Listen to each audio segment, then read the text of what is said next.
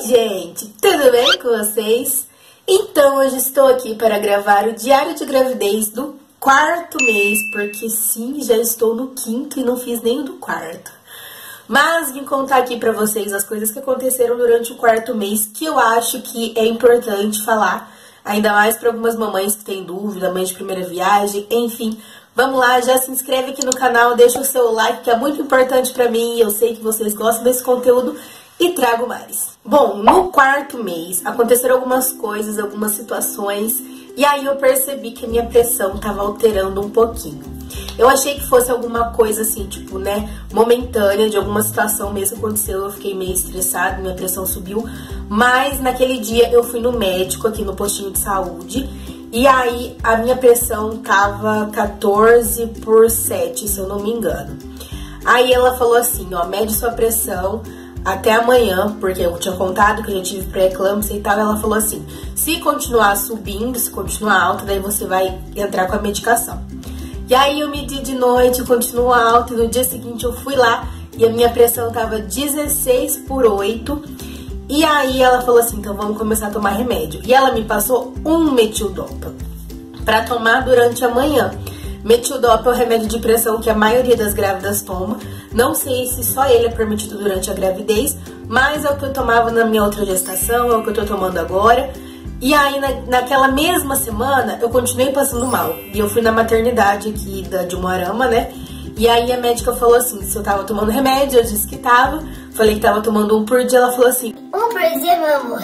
Você não faz nem cosquinha pra você. aí ela me passou três por dia pra eu tomar que é de 8 em 8 horas. E é esse remedinho aqui, ó, metildopa de 250, porque tem de 500, deve ter de 500, então você toma dois desses pra fazer o de 500. Mas é esse remedinho aqui, o metildopa de 250 miligramas, que eu estou tomando de 8 em 8 horas, então eu tomo de manhã, de tarde e à noite. Isso foi passado pelo médico do SUS, aí o médico do meu plano de saúde falou assim que não era necessário tomar remédio, mesmo que a minha pressão tenha chego a 17 por 7, porque ele falou que a gente só entra com medicação a partir que o segundo número, né, tipo a pressão mínima lá, que é 12 por 8. Se o 8 chegar a 9 ou passar de 9, aí tem que tomar remédio.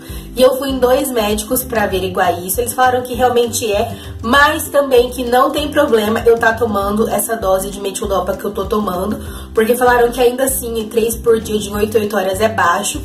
Na gravidez da Radija eu tomava de 6 em 6 horas esse remédio mesmo de 250 miligramas. E aí, como eles falaram que não prejudica, eu continuo tomando porque eu prefiro, sabe? Eu me sinto mais segura. Não sei se faz muita diferença ou não, mas sabendo do meu histórico, me conhecendo, eu prefiro estar tá tomando ele do que não estar tá tomando nada e saber que minha pressão pode estar tá alterando um pouquinho.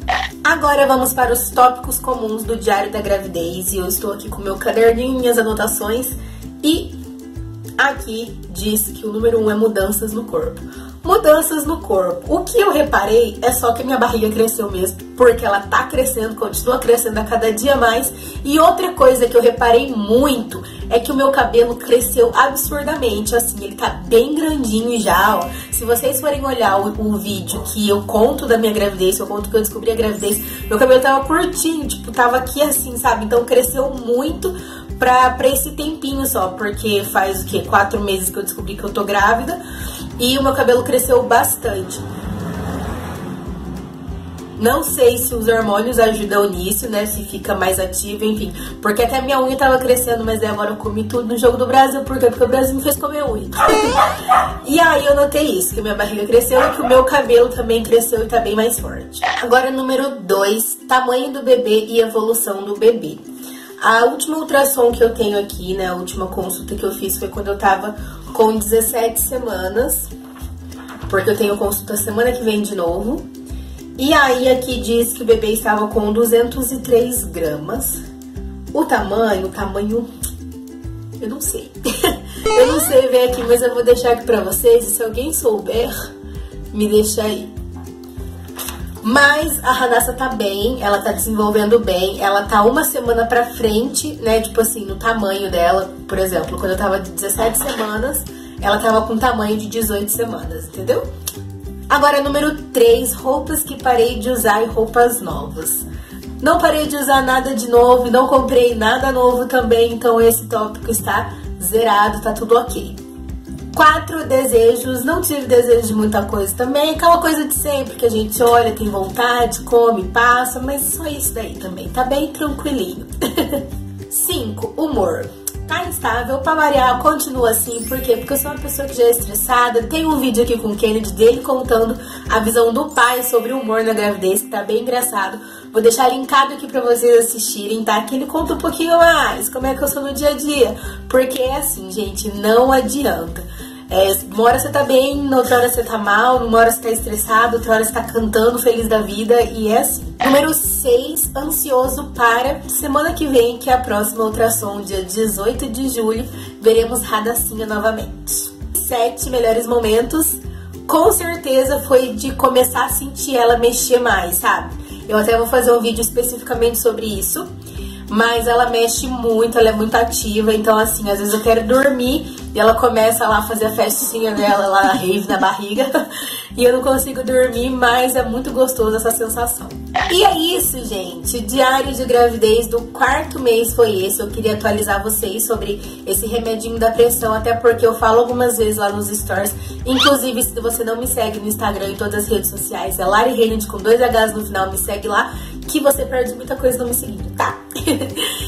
e aí eu falei, eu vou fazer um vídeo explicando certinho o que aconteceu, né? Para as pessoas, para as mamães se prevenirem, tomarem cuidado, prestarem atenção em qualquer sinal, né? Tipo, de vez em quando a minha cabeça dói bastante, dói aqui na nuca, mas nem sempre a minha pressão tá alta. E é igual o médico falou.